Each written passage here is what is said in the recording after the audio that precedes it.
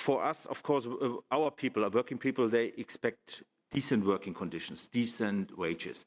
And they hope that Europe can deliver. And uh, it is regardless if they work in the office or if uh, on the factory floor or on digital platforms, they expect that they can enjoy decent working conditions and wages in all member states. And I think they don't care or they less care about competences or uh, issues of subsidiarity. They want Europe to deliver.